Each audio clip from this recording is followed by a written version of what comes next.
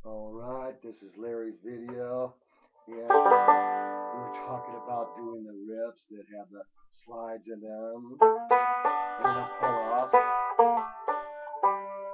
And, uh, and one of the things we wanted to say was, first of all, make sure we're not putting our hand out like this and bending this wrist here. We want that a straight shot from the elbow to here. We want this kind of hanging and look at the angle that our arm is at. It's at a 45 degree angle. So if we try to turn these fingers eh, perfectly like this, it kind of is a twist. We're twisting our wrist. I think it works better if you just let your fingers, fingernails look at you at kind of a 45 degree angle up here. And and then so we can then we can do the slide. Your pivots on your thumb you did pretty well with this. You weren't moving your whole thumb up and everything. So what we want to do is pivot.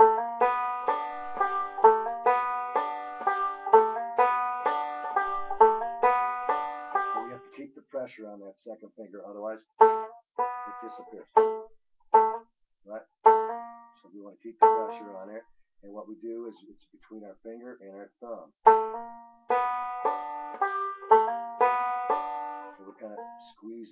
These two, whatever fingers on there. You know, that's, that, and you'll actually, if you do this and squeeze the fingers against the thumb, you'll feel it right in your forearm right here. All right. So then we're going to go.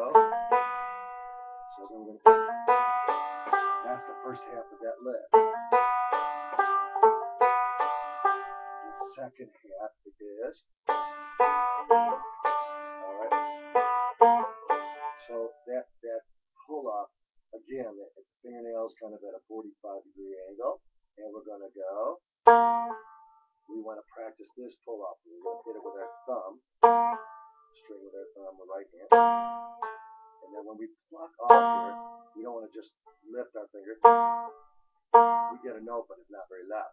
If we actually pluck down while we leave our first finger down, so that's, we want to do this as an exercise. Is it boring? Yes, definitely. But it will speed up your uh, the good sound of your of your pull off.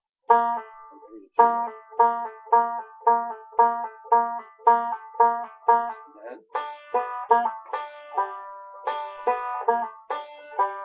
and we can even do notice I'll make sure I get a first good note. Now once you get it, know you got a good pull off, then you can go then do it faster.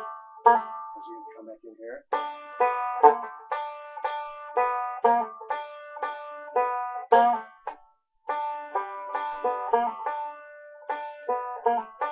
And put them together. Alright. And I think that's about it. You're doing great on Worry Blues. Uh, maybe work on memorizing it a little bit so that you don't have to read the tablature so much and you can think about that index finger being playing the melody. All right.